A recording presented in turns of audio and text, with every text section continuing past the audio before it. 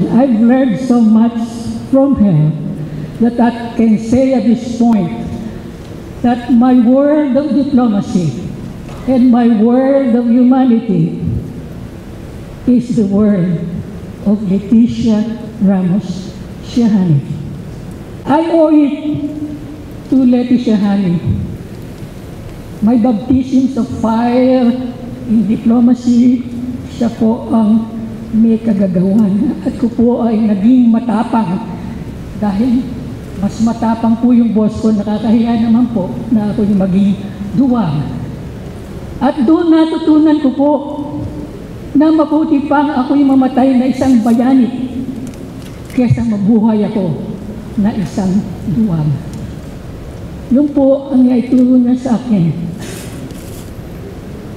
He, she was my greatest guru of diplomacy and humanity.